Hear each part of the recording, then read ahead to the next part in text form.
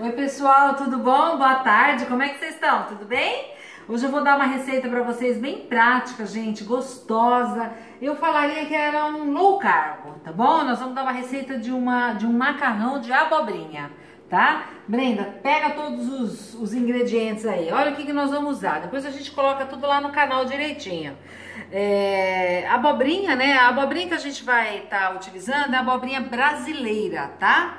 É, eu já compro ela assim, tá, gente? Raladinha. Aqui nos nossos é, supermercados, ela já encontra assim. Espera só um pouquinho, deixa eu pôr minha luva. Aqui é tudo ao vivo e a cores, tá, gente? De vez em quando a gente dá uma zerada aí, mas tá tudo certo. Bom, então aqui, ó, a abobrinha, olha só, gente, ela já vem cortadinha que nem macarrão, dá uma olhada, tá? Então vocês vão... Ah, quanto que eu faço de abobrinha, Val? O quanto vocês forem comer. Vocês vão comer em uma, duas pessoas, vocês fazem um pacotinho. Se for comer em mais, você faz mais, é, mais da... Aqui tem três abobrinha ralada, ó, tá? Aqui são três. Nós vamos utilizar alho poró. Eu coloquei aqui dois dentinhos de alho normal, tá? Pra ficar bem saborosa. Um pouquinho de carne moída. Essa minha carne moída já foi refogada, tá? Então já deixei preparadinha um pouquinho de queijo parmesão e molho, gente. Eu fiz um molho caseiro hoje de manhã, tá? Eu gosto de fazer tudo caseiro, mas você faz aí do jeito que você achar melhor, tá bom? É, aqui nós vamos decorar com esses pães maravilhosos. Depois eu vou falar um pouquinho deles também aí hoje pra vocês, tá? Então, mão na massa. Vamos lá, Brenda. Dá pra ver direitinho? Olha lá, gente, ó. Azeite tá bom? Vamos lá. É, alho. Dá uma douradinha, né? Olha lá, o alho. Até vou deixar pra cá. O alho poró. É uma receita bem rápida hoje, viu, gente? Vocês estarem fazendo aí hoje à noite, porque agora esses dias aí o pessoal come muito, né? Então, ficou em casa não tem jeito, a gente come mesmo. Deixa ele dar uma douradinha. O cheiro já tá bom, tá? Mais um pouquinho de azeite, para ele ficar bem soltinho. O azeite, quanto mais, mais gostoso ele fica. Não tem muito segredo esse macarrão, não. A gente também pode estar fazendo ele com palmito, tá, gente? Palmito, como que é o nome do palmito? Pupunha. Pupunha, isso. Eu até tentei procurar para montar para vocês com ele, mas aqui na cidade eles entregam só na sexta-feira, tá? E como a gente não pode deixar de filmar na, na quinta. Olha lá, gente, ó, deu uma douradinha. Vocês podem colocar o, o macarrão, né, que a gente fala que é. Aí, ó. Tá bom? Deixa eu dar, ele dar uma refogadinha.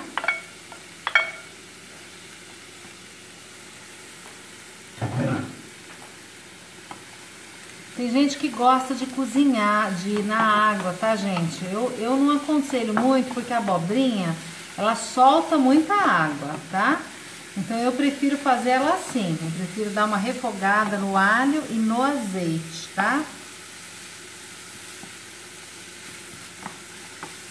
Para vocês fazerem na casa de vocês esses dias aí que vocês vão estar tá em casa, vão estar tá tranquilos, né? Vamos pular carnaval.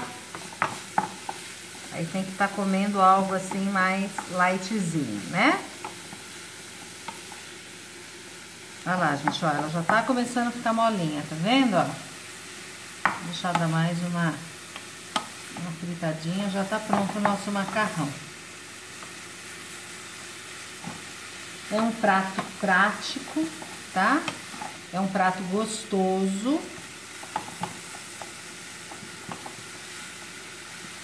Você pode também acompanhar ele, eu fiz com... Eu, colo, eu vou colocar nele o, a carne moída, tá? Mas ele fica muito saboroso também se você colocar o... É, a calabresa ralada. Vocês ralam a calabresa, deixar ela bem fininha com cebola. Aí vocês fritam aquela calabresa com cebola, depois vocês colocam. Também fica maravilhoso, tá? Eu já fiz dos, dos dois jeitos, tá bom? Agora a gente vai colocar aqui, ó, a carne moída, né? Que é pra gente esquentar também e dar mais uma, uma refogadinha pra misturar com ele, macarrão. Tá pegando aí, Brenda? Tudinho. Vocês não têm noção o cheiro, viu, gente? Aqui não dá pra sentir daí, mas olha... Tá uma delícia. Pensa, olha, gente, pensa no macarrão gostoso.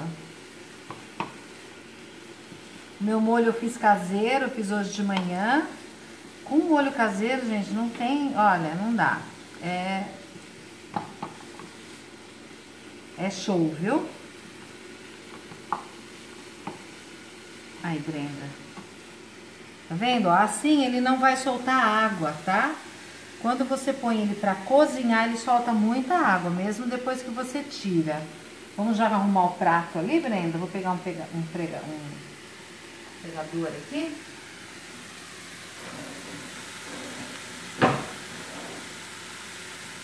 Ai, gente, eu tava aqui dando risada com a Brenda, viu? Porque nós temos o nosso making off, né? Então não tem jeito, a gente erra.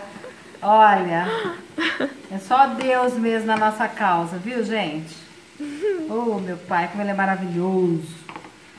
Bom, vamos lá. Agora vamos montar o nosso prato, né? Aqui, Brenda. Vou colocar o prato aqui. Tá bom, Brenda? Tá bom. Olha lá, gente, ó, dá pra você comer aí até em três pessoas, tá? Olha só, olha que macarrão show. Dá uma olhada. Não dá vontade, gente? Fala pra mim. Não vou nem colocar tudo, vou arrumar bem bonitinho o prato pra vocês. Vocês verem como que ele fica uma delícia. Olha, o molinho caseiro, tá bom?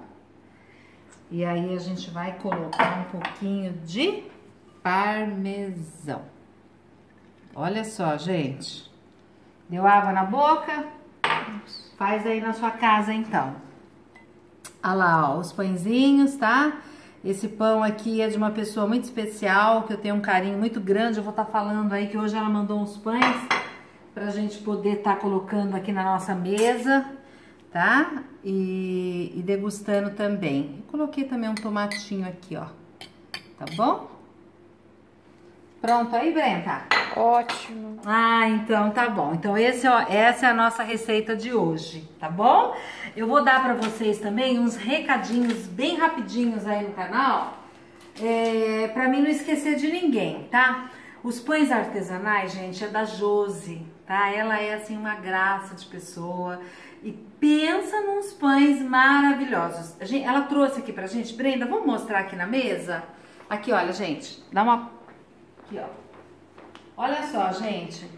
Hoje ela trouxe pães de castanha, tá? O Brenda, coloca aqui. Depois a gente vai colocar lá no canal, gente, é o telefone dela, tá? O contato vai estar tá tudo lá no canal para vocês estarem encomendando, tá? Olha esse aqui, gente. Ele é um pão de frango com catupiry. Dá uma olhada nisso aqui, gente. É ou não é um pão artesanal? Tá bom? Eu prometi para ela que hoje eu ia falar dela aqui no canal, que ela é uma pessoa muito querida, né? E o trabalho dela é um trabalho maravilhoso. Vale a pena vocês ligarem lá e encomendar. Agora eu quero dar um outro recado bem bacana para vocês. Presta atenção na minha camiseta. Pega aí, Brenda, vê se tá pegando tudo. Tá pegando? Olha, gente, que linda minha camiseta. Vamos ver se vocês conseguem entender o que está escrito aí. Santidade. Olha que bacana. Nós vamos estar agora, nos quatro dias de carnavais, lá no Espaço 7, que é um espaço que vai estar acolhendo jovens para um acampamento lá da igreja que eu frequento, tá? Eu frequento a igreja cristã de Dayatuba. É uma igreja maravilhosa, uma igreja assim que tem direção para tudo aquilo que hoje você precisa, que está aí desse lado, e eu que estou aqui desse lado, precisamos para nossas vidas, tá? Esse acampamento ele vai estar acolhendo 200 jovens e a gente vai estar lá cozinhando. Eu adoraria poder filmar lá, mas eu não vou conseguir. Então eu vou estar mandando no meu, para não falar errado, é history. no nosso history a gente vai estar tá colocando alguns flashes do que vai estar tá acontecendo lá, tá, gente? É uma equipe maravilhosa que vai estar tá junto lá na cozinha e a gente vai estar tá fazendo assim pratos maravilhosos lá para os jovens, tá? Eles vão ficar lá no acampamento e lá eles vão passarem assim dias assim maravilhosos, tá bom? É, esse esse trabalho lá do acampamento ele é direcionado pelo pastor Kleber e pela pastora Jaque, tá? É eles que cuidam do ministério dos jovens na igreja.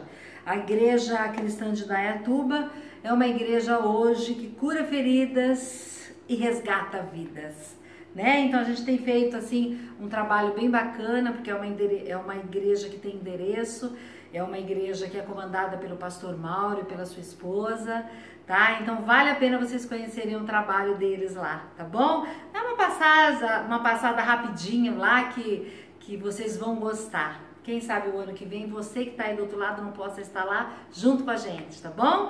E a gente vai estar tá lá na cozinha a todo vapor, tá? Eu gostaria imensamente de agradecer o carinho de todos vocês que têm mandado mensagem, que têm mandado pelo WhatsApp. Eu não posso esquecer de falar da Cíntia, tá? Que é uma querida nossa tá morando fora, tá morando lá nos Estados Unidos agora, e ela pediu uma receita de com alguma coisa com soja. Nós vamos estar tá providenciando, Cintia, eu não esqueci de você, tá bom? E olha, gente, um beijo maravilhoso no coração de cada um de vocês e como de costume, fui!